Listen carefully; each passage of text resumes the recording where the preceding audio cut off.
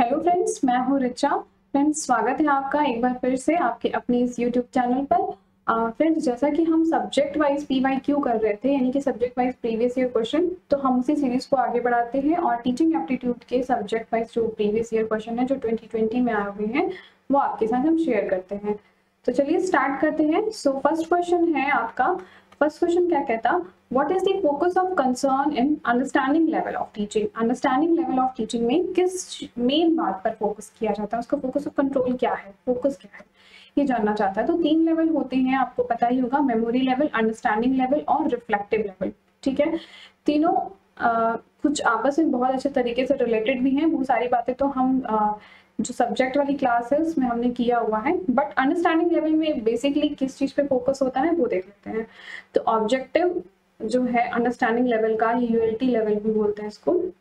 तो यहाँ पे होता है comprehension translation interpretation and exploration application and efficiency to apply comprehend the knowledge in various situation ठीक है तो रोल लर्नर का रोल कैसा होता है कि ही थोड़ा एक्टिव रोल होता है क्वाइट एक्टिव होता है लर्नर यहाँ पर अपने डाउट्स को वो क्लियर करता है। कैसे सब्जेक्ट यहाँ पर होंगे जहाँ पे वाइडर सब्जेक्ट होंगे और large in number of quality होगी ठीक है? तो अंडरस्टैंडिंग लेवल में क्या होता है कि टीचिंग uh, में तो सिर्फ़ रटने और इसकी बात होती है अंडरस्टैंडिंग लेवल में जो भी वेरिएबल्स हैं, उनके बीच का रिलेशनशिप समझने की बात होती है, बच्चा अच्छे से समझता है अंडरस्टैंडिंग को बिल्डअप करता है। ठीक है, अब पढ़ते हैं ऑप्शन को।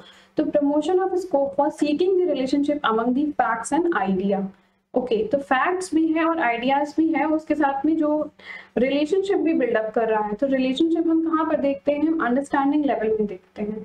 Encouraging the recall and recognition of facts and information ये हमारा मेमोरी लेवल से रिलेटेड है। Raising of problem and seeking solution of that problem ये रिफ्लेक्टिव लेवल का है कि प्रॉब्लम भी आइडेंटिफाई uh, करना कि क्या प्रॉब्लम हो सकती है। जैसे कि पीएचडी लेवल में आप जाते हैं तो वहाँ पर क्या होता है? पहले प्रॉब्लम आइडेंटिफाई करते हैं फिर उस पर आप रिसर्च करते हैं। तो वो क्या होता है? रिफ्लेक्टिव लेवल होता है। Developing a sense of happiness and ownership of the presented and learning तो यहाँ पे ये भी एक तरीके से आपका रिफ्लेक्टिव लेवल का ही पार्ट होता है। तो आपका जो आंसर होगा वो ए है। ठीक है promotion of scope of seeking the relationship facts and ideas which of the following next question क्या है? ट्वेंटी सेवन क्वेश्चन है, वो क्या कहता? Which of the following emotional characteristics are of crucial significant of adult and learning यानी कि देखिए तीन स्टेज होती है ना लर्नर की। तीन स्टेज होती है ना लर्नर की, एक होता है चाइल्ड लर्नर एक होता है डॉल्सेंट और फिर होता है अडल्ट ठीक है जो बच्चा बिल्कुल ही छोटा हो तो चाइल्ड फिर जो आ, ये कह सकते हैं कि टेन ईयर से नाइनटीन ईयर तक के जो बच्चे होते हैं वो आपके एडोल्सन लर्निंग में आते हैं। तो वहाँ पर होता क्या है? फॉर्मल लर्निंग होती है in combination with non formal learning ठीक है फॉर्मल और नॉन फॉर्मल दोनों ही होती है। Belongs to understanding level of teaching यहाँ पे अंडरस्टैंडिंग लेवल ऑफ़ टीचिंग होती है। तो यानी कि आप देख रहे हैं कि जो टेन ईयर से यानी कि एट्थ क्लास का बच्चा या फिर सेवन्थ क्लास के बच्चे से लेकर के पूरे ट्वेल्थ तक का जो भी बच्चे होते हैं, वो डॉल्सन लर्नर में आते हैं। वहाँ पर उनका एटीट्यूड किस तरीके का होता है, ये क्वेश्चन में जानना चाहता है। तो feelings of group belongingness heroship sentiments expanding the emotions ties those those in the neighborhood, and depends upon the process and making the friends तो देखिए, यहाँ पर जो बच्चा होता है, आप देखेंगे नाइन्थ टेंथ क्लास में ज़्यादातर बच्चे कैसे हीरो वर्शिप में ज़्यादा जो है बिलीव करते हैं। तो इसका आंसर क्या हो जाएगा? B hero worship or sentiments. Now next question है during teaching when a teacher use process question which of the following type have dominance? अगर process question की बात हो रही है तो किस चीज़ पर डायरेक्ट फोकस होगा मतलब उसका मेन फोकस क्या होगा तो देखिए क्वेश्चन जो होते हैं वो दो तरीके से पूछे जाते हैं ठीक है एक होता है डायरेक्ट क्वेश्चन ठीक है और एक दूसरा होता है इनडायरेक्ट जब डायरेक्ट क्वेश्चन पूछेंगे तो मतलब जैसे कि डायरेक्ट किसी कॉन्सेप्ट के बारे में पूछा, जैसे मैंने पूछा कि लेवल ऑफ़ टीचिंग क्या है तो वो हो गया डायरेक्ट क्वेश्चन बट अगर इनडायरेक्ट मुझे पूछना होगा तो मैं उसका कोई एग्ज़ाम्पल दूँगी, ये और फिर ऐसे पूछ सकते कि ये किस, कौन से लेवल में आता है, ये आपको बताना है। तो ये हो गया एक इनडायरेक्ट तरीका। जैसे आप यूजीसी नेट में भी देखेंगे तो अगर आपके 50 क्वेश्चंस आते हैं पेपर वन में तो 40 क्वेश्चन उसके ऐसे होते हैं जो इनडायरेक्ट वे में क्वेश्चन होते हैं। डायरेक्ट नहीं पूछता, वो इनडायरेक्ट वे में ही पूछता है। यानी कंसेप्चुअल क्वेश्चन होते हैं, ठीक है? तो कैसे क्वेश्चन होंगे? हाइयर ऑर्डर के क्वेश्चन होंगे, जहाँ पर मतलब कुछ ऐसी चीज़ें दी होंगी जिससे आपको आइडेंटिफाई करना होगा कि अच्छा क्या है, किस बारे में ये जानना चाहता है। तो ये हायर ऑर्डर के क्वेश्चन होते हैं, ठीक है? डायरेक्ट क्वेश्चन नहीं होंगे, ये इनडायरेक्ट क्वेश्चन होते हैं, ठीक है? और कैसे होंगे? कॉन्सेप्ट बेस्ड होंगे। सो so, अगर प्रोसेस वाले में क्वेश्चन होगा तो हमारा कौन सा होगा? Two four five two four five option D में है। देखिए डायरेक्ट क्वेश्चन का मतलब क्या हुआ? कि डायरेक्ट कॉन्सेप्ट पूछ लेना ठीक है? कोवर्जेंट और ऑवर्जेंट ये अलग तरीके से होता है तो ये अभी आपका यहाँ पर नहीं आएगा। इसमें बात करेंगे हायर ऑर्डर इनडायरेक्ट और concept question now next question है जो कि ट्वेंटी नाइन क्वेश्चन है हमारी सीरीज़ का। क्या था स्टेटमेंट वाइज क्वेश्चन है। स्टेटमेंट वन क्या है? Tutorial group discussion and question answer session are the dialogic and are the part of direct teaching method. तो देखिए, एक तो मैंने आपको पहले बताया था कि डायलॉगिक टीचिंग का क्या मतलब होता है, इसको समझिए। डायलॉगिक का मतलब क्या हुआ? जहाँ पर बच्चे भी बोल सकते हैं, कुछ इन्वॉल्वमेंट होता हो, जैसे एक तो होता है लेक्चर मेथड तो लेक्चर मेथड में सिर्फ़ टीचर ही बोल रहा है, बच्चे बस सुन रहे होते हैं, उनका पैसिव रोल होता है। बट डायलॉगिंग में क्या होता है कि बच्चे भी बोल सकते हैं और टीचर भी बोल सकता है। दोनों ही बोलते हैं तो उसको बोलते हैं डायलॉगिक टीचिंग ठीक है? अब कहता है कि जो tutorial group discussion and question answer session तो जब भी ट्यूटोरियल होगा वहाँ भी बच्चे बोल सकते हैं। ठीक है? डिस्कशन में भी बच्चे भी इन्वॉल्व होंगे और क्वेश्चन आंसर सेशन में भी बच्चे इन्वॉल्व होंगे। सो so, यहाँ तक तो ये स्टेटमेंट सही कह रहा है। ठीक है? अब आती है बात कि ये डायरेक्ट मेथड है टीचिंग का या इनडायरेक्ट मेथड है टीचिंग का? इस दोनों को समझते हैं कि डायरेक्ट और इनडायरेक्ट में क्या है।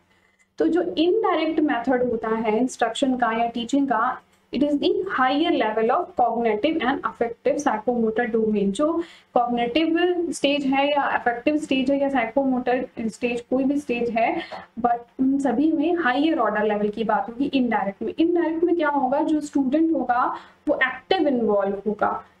ठीक है? स्टूडेंट भी प्रॉपर उसमें इन्वॉल्व होगा चीज़ों में आ, जैसे कि कोई चीज़ करके बताना ऑब्ज़र्व करेगा इन्वेस्टिगेट करेगा तो इनडायरेक्ट में क्या होगा कि स्टूडेंट्स स्टूडेंट सेंटर लर्निंग होती है।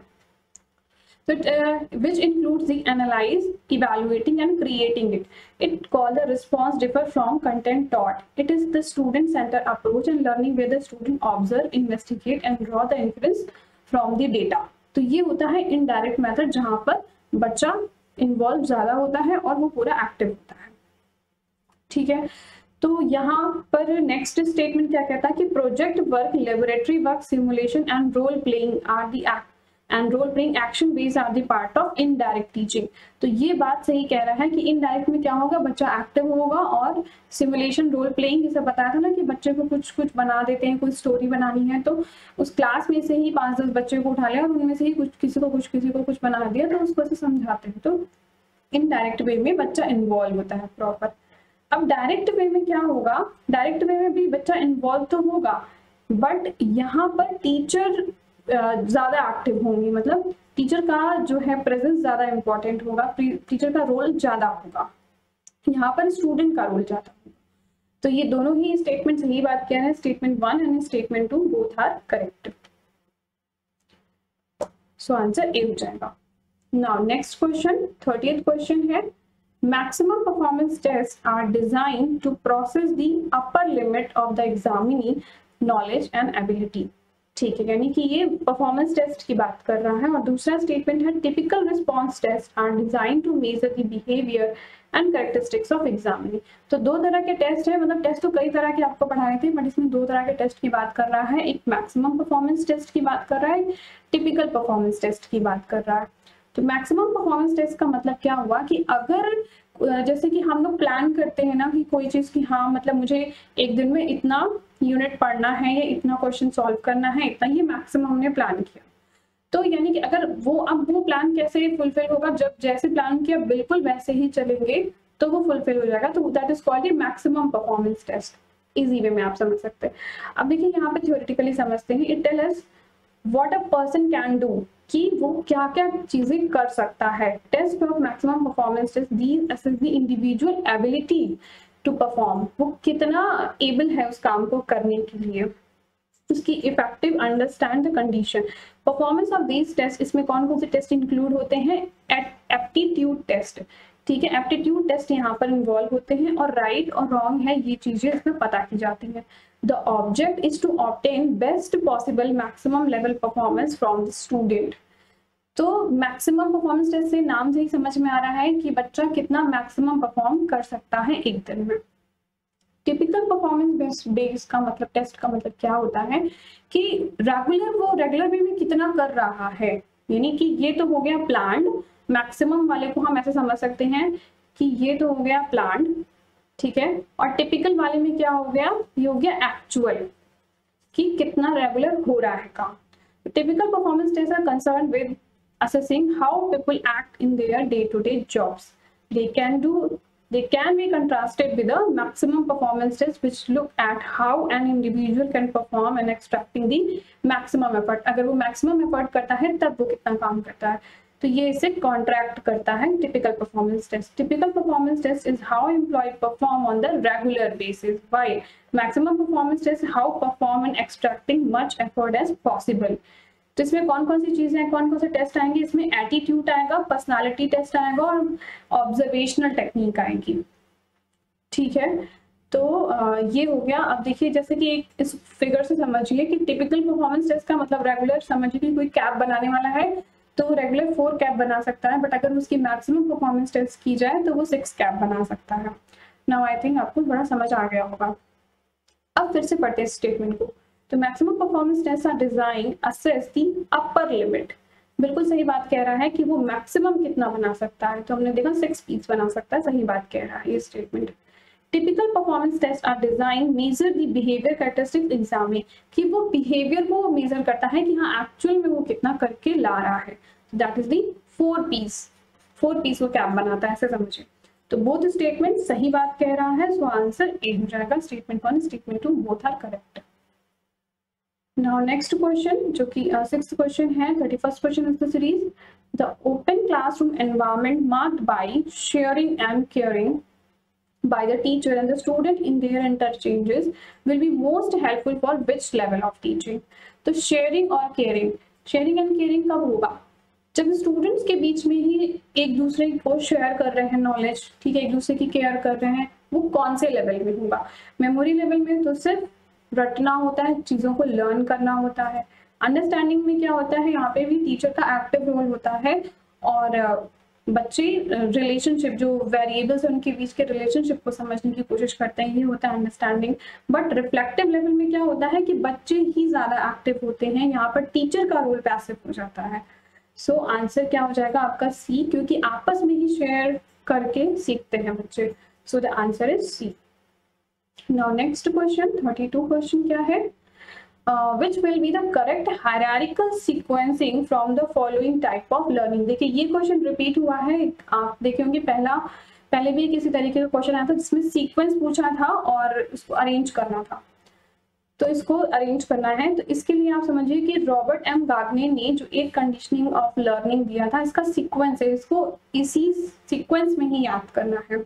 इसको डिटेल में मैंने जो थ्योरी वाली क्लास है, वहाँ पे समझाया है। अगर आपको डिटेल में समझना है, वहाँ पे समझ सकते हैं।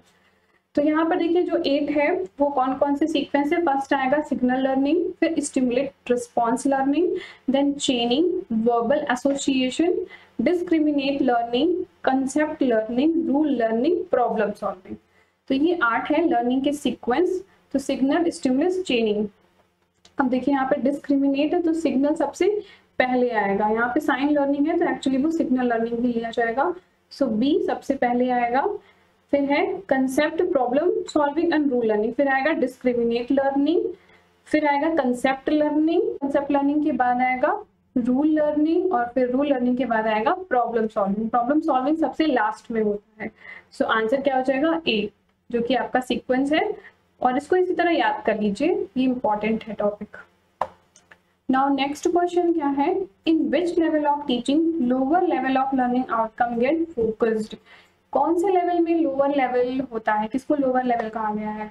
देखिए सबसे पहले आता है आपका मेमोरी लेवल फिर आता है अंडरस्टैंडिंग फिर आता है रिफ्लेक्टिव जब बच्चा एकदम छोटा होता है तो उसको चीज़ों को याद करा जाता है ना, जैसे कि टेबल वगैरह रटना फॉर्मूले याद करना सब मेमोरी लेवल का आता है। फिर अंडरस्टैंडिंग चीज़ों में आप रिलेशनशिप समझते हैं, फिर आता है रिफ्लेक्टिव जब आप पीएचडी करने जाते हैं तो ये होता है रिफ्लेक्टिव लेवल तो लोएस्ट लेवल कौन सा होता है? मेमोरी लेवल होता है। memory level is the answer. Now next question 34th question. Which of the following intellectual characteristics in a teacher need nurturing in order to accomplish subject well-being leading to effectiveness of motivating and inspiring the student of college level education यहाँ पे कौन कौन सी चीज़ें हैं cognitive intelligence emotional intelligence social intelligence and spiritual intelligence इन चारों को ही पहले समझ लेते हैं तो इमोशनल इंटेलिजेंस में क्या है इमोशनल इंटेलिजेंस में होता है teacher are active in their in their orientation of the students work and life they inspire motivate the student beyond the wall of the classroom emotional में क्या होगा? जब टीचर बच्चों से इमोशनली अटैच होगा, यानी कि बच्चों को अगर कोई भी प्रॉब्लम आ रही है किसी भी तरह की तो वो मतलब उसको मोटिवेट करना और beyond the wall of classroom classroom के बाहर भी उनका रिलेशन होता है टीचर का एक स्टूडेंट के साथ में। नेक्स्ट है कॉग्नेटिव इंटेलिजेंस कॉग्नेटिव इंटेलिजेंस जो कि डायरेक्टली रिलेटेड होता है आपके माइंड से। कॉग्नेटिव का मतलब हमेशा डायरेक्ट माइंड से होगा। तो teacher depart the best academic knowledge in the most desirable and suitable way of student cognitive में क्या होगा? डायरेक्ट केवल डीप में सब्जेक्ट नॉलेज से रिलेटेड वो बताएगा। सोशल इंटेलिजेंस में क्या होगा? जब सोशल से क्या मतलब समझ में आता है कि आपका ग्रुप होगा बहुत अच्छा। ठीक है? तो teacher help student to develop the skill for becoming the state smart यानी कि बच्चे को वो हेल्प करता है कि उसका मतलब वो सोशल में भी अच्छा रह सके, लोगों के साथ भी अच्छे से उसका बिहेवियर हो, उसका ग्रुपिंग हो, अच्छे से वो रहे। एंड फोर्थ में टीचर किस तरह से हेल्प करता है? स्पिरिचुअल इंटेलिजेंस स्पिरिचुअल का मतलब क्या हो गया कि जैसे स्पिरिचुअल नॉलेज मतलब कि वो मेडिटेट करे और चीज़ों को अच्छे से समझे, शांत रहना चाहिए तो वैसे वो सारी चीज़ें सिखाना। तो टीचर इन्फ्लुएंस करता है स्टूडेंट को स्पिरिचुअल लेवल पे and teacher them application spiritual knowledge अब स्पिरिचुअल नॉलेज देता है जिससे कि वो अपनी डे टू डे लाइफ में उसको, अपनी लाइफ को मैनेज कर पाए। तो ये चार चीज़ें हैं, अब क्वेश्चन को देखते हैं।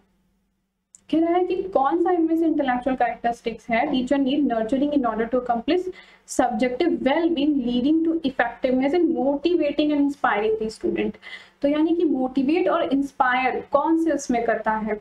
तो मोटिवेट और इंस्पायर करता है इमोशनल वाले में। तो इमोशनल आंसर होगा बी वाला आपका option B emotional intelligence next question क्या है? uh, इसमें क्या कहता है? स्टेटमेंट वन है instructional technology is a network of technique pressed into the service realising this instructional objective okay ये कहता है कि जो इंस्ट्रक्शनल टेक्नोलॉजी है जैसे मोबाइल वगैरह का यूज़ करें आप किसी एप्लीकेशन का यूज़ कर रहे हैं तो उससे क्या होगा? Technology is a network of technique तो उससे नेटवर्क बनता है लोगों का ठीक है? और नेटवर्क uh, बनता है and realising the instructional objective और ये इंस्ट्रक्शनल ऑब्जेक्टिव यहाँ से हम फुलफिल कर सकते हैं। अगर हम आईसीटी का यूज़ करते हैं कंप्यूटर लैपटॉप मोबाइल किसी वेब एप्लीकेशन इन सभी चीज़ों का तो ये इंस्ट्रक्शनल ऑब्जेक्टिव फुलफिल कर सकते हैं यहाँ से। तो ये स्टेटमेंट सही कह रहा है। आप इंफॉर्मेशन या इंस्ट्रक्शन आपको वहाँ से मिल जाते हैं।